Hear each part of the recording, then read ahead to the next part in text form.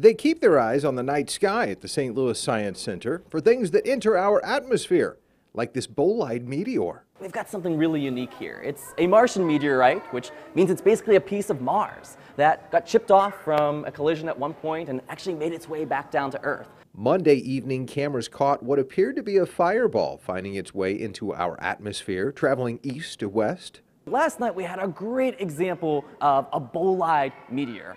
And that sounds pretty technical, but you might have heard it called a fireball, or some people might just say a shooting star. We're all talking about the same thing in a lot of ways. Meteors or shooting stars are those streaks of light we often see overhead, but a bolide is a really bright one. Maybe it lasts a little longer, and it's usually caused by a bigger piece of debris coming through the Earth's atmosphere. There was a sonic boom that came with the sight of a soaring meteor across the St. Louis sky, caught by cameras from downtown St. Louis to Wellsville, Missouri. Because when you see that bright flash, maybe you heard the boom, you think, wow, that had to be something huge up in the sky, but really we're talking something pretty small. Most meteors or shooting stars that you see are just barely a speck of dust, little tiny pieces of debris left in space from a comet or an asteroid passing through our atmosphere.